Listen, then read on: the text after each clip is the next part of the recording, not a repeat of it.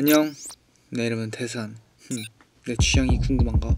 뮤직, 록, 패션 안녕. 난 보이넥스도 성우라고 해. 내 취향은 말이야. 운동, 음악, 영화, 그림. 너무 다양한 것 같아.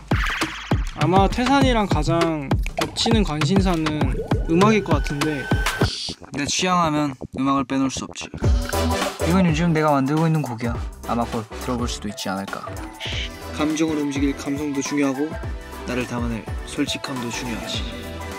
나의 취향을 가득 담아 가장 나다워질 이곳이 어디냐고? Coming up next.